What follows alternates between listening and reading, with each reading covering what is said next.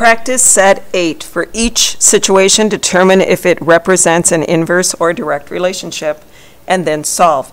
If you drive 90 miles in 2.5 hours, how long should it take you to drive 200 miles? Well, we're talking about a distance increasing. We're going from 90 miles up to 200 miles. And then we're talking about the time. Well, the longer the distance, the longer the time.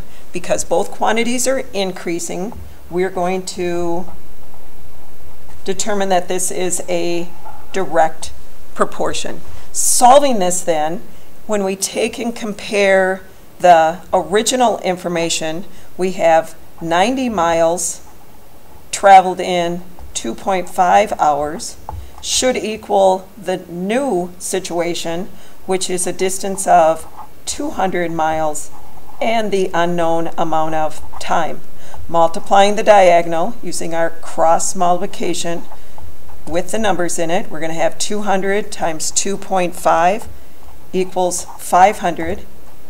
Take that result and divide it by the value in the other diagonal to give us the missing component.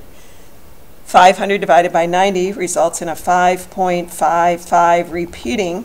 Rounding this to the nearest tenth, we'll look at the hundredths place, 5 or greater, will result in an answer of approximately 5.6 hours.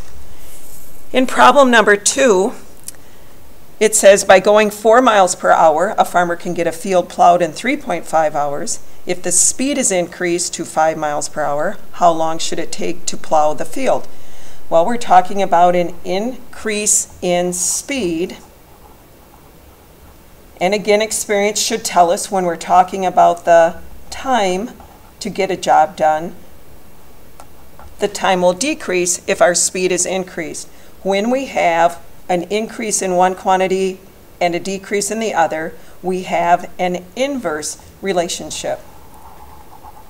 To solve this inverse relationship then, we're going to compare the original speed to the new speed, which is 5 miles per hour, compared to the new time, which is unknown to plow the field, compared to the original time, 3.5 hours at that 4 mile per hour speed. Multiplying the diagonal using our cross multiplication with the numbers in it, we have 4 times 3.5, which gives us 14. We'll take the 14 then and divide it by the number in the other diagonal to give us the missing value. And when you take 14 divided by 5, you end up with a 2.8 hours less time at a faster speed for the answer to this problem.